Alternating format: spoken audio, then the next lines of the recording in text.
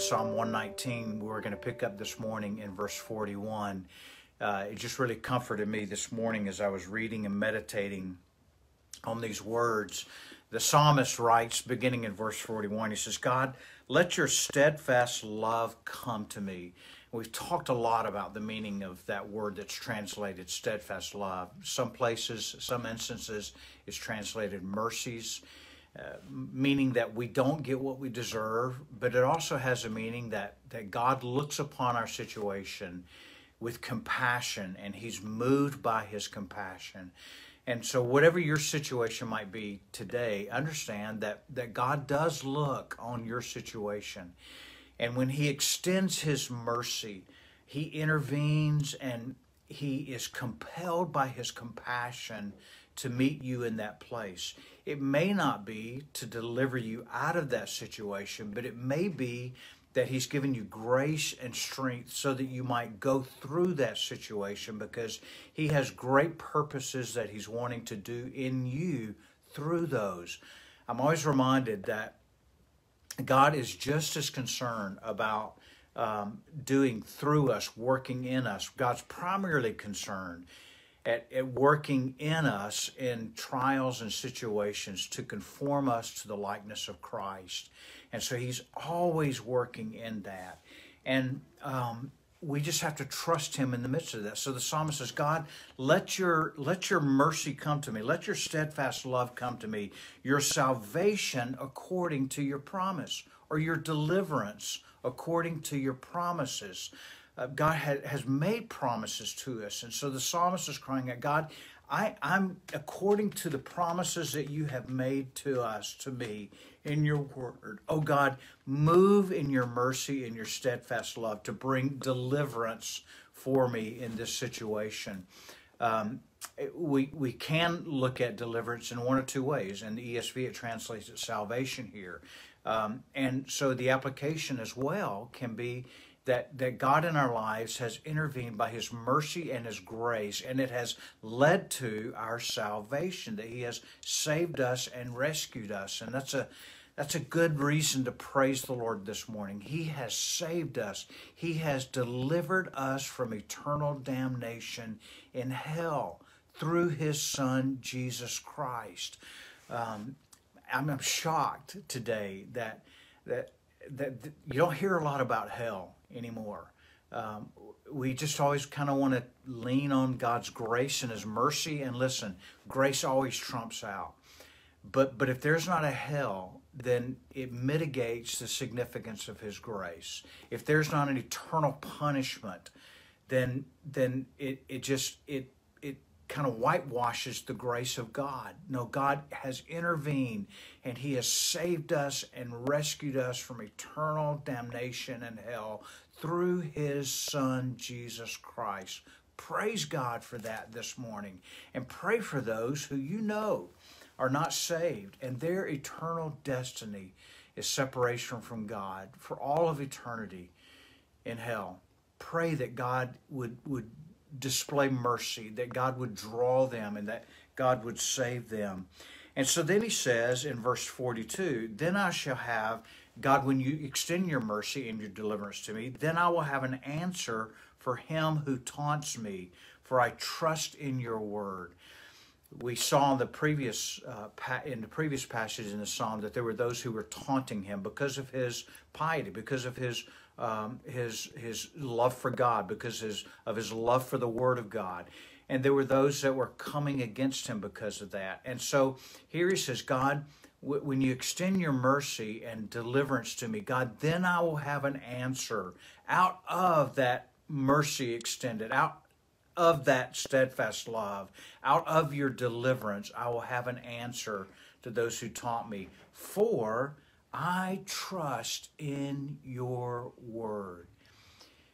You see, that display to those who taunted him would be out of God, I've trusted you in your word, and God, you have delivered according to your word. God, I trust you, and take not the word of truth utterly from my mouth. For my hope is in your rules.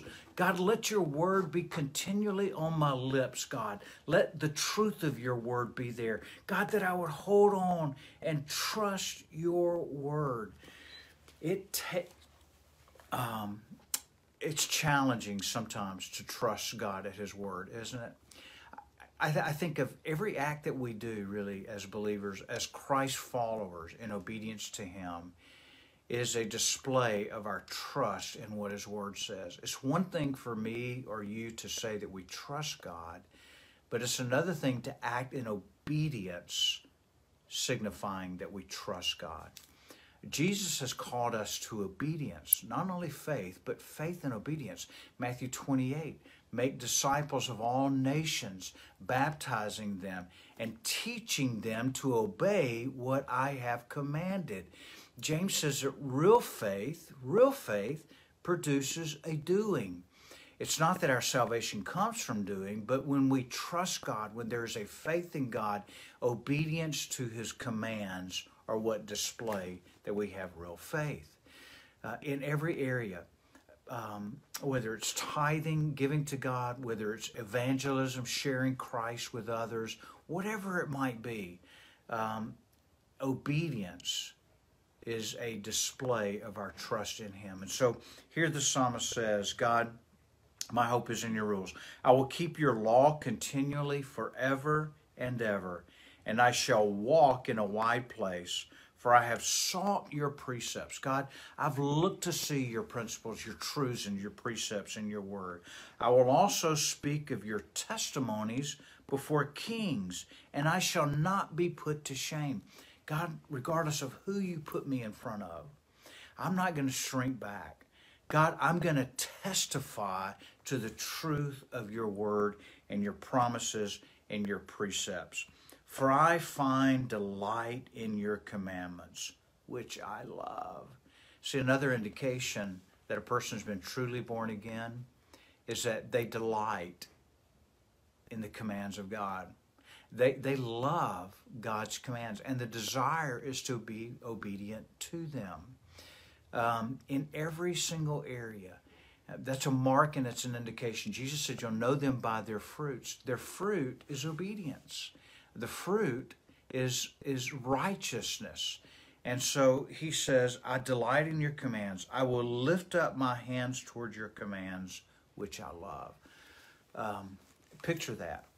Here in, in the Hebrew, it, it's, it, it is the action of lifting up our hands to his law, to his commands. I will lift my hands toward your commandments, which I love. It's an outward expression. I, I was thinking about this. Um, we, we are so quick to raise our hands, pump our fists, even for a team that has no hope of going to the championship. We'll, we'll pump a fist. God would that that in our in our corporate worship, in our corporate times of of preaching and teaching the Word of God, that when a truth bore witness to our spirit, we would say, Yes! We're not ashamed to do it on Saturday in the living room, but somehow or another we seem reserved. Here, here the, the psalmist is saying, Listen, we're, we're to give a fist pump to the truth of the Word of God. That's like an amen. That's an expression of God, we love it. I will lift up my hands towards your commandments, which I love, and I will meditate on your statutes. I'll, I'll contemplate. I'll, I'll chew over and over and, and get all the nourishment and, and richness out of your statutes that I possibly can. The psalmist here again calls us to trust God in his precepts, to trust God in his truth, to trust God in his commandments and be obedient to them. When we walk with the Lord in the light of his word, what a glory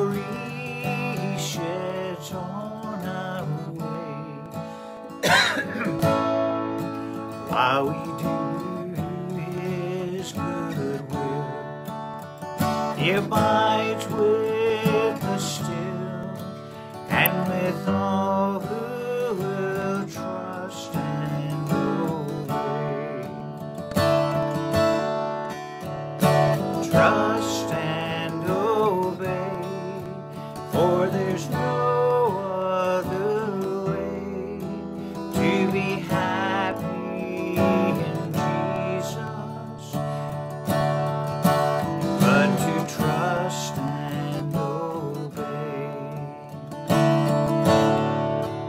Not a burden we not a sorrow we share, but our toil he doth richly repay.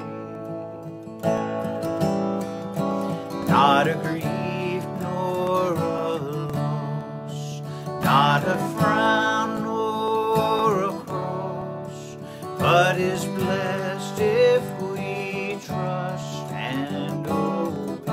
Trust and obey, sing it out. Trust and obey, for there's no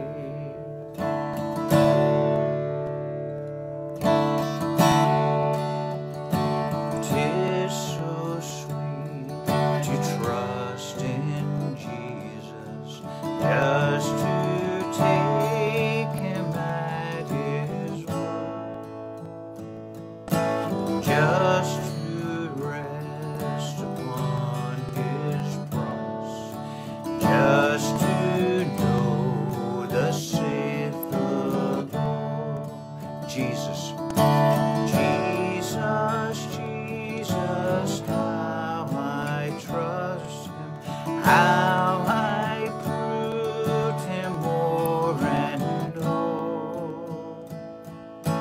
Jesus, precious Jesus, oh, for grace to trust Him more.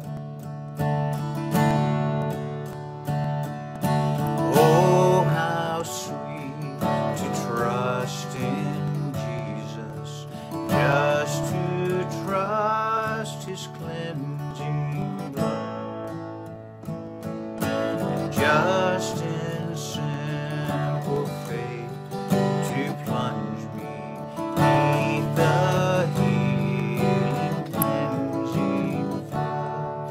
out to Him, Jesus. Jesus,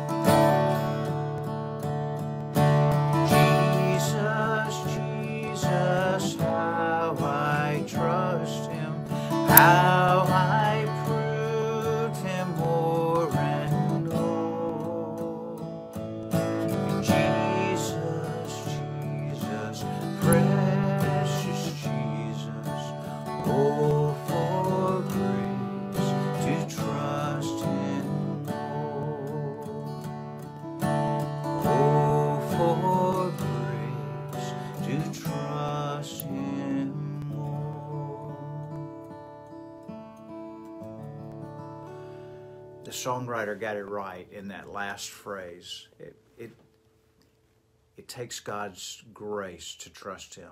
You see, grace is not only related to His saving us by, by extending His undeserved merit to it to us, but grace is so necessary in every step of the walk.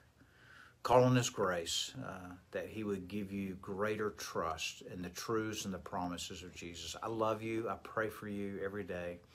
Um, I pray that uh, God would just meet you where you are. If you've been encouraged by this or uplifted, please hit that share button. Uh, share it with others that are friends of yours on Facebook. Who knows what God will do uh, through the expression of His Word.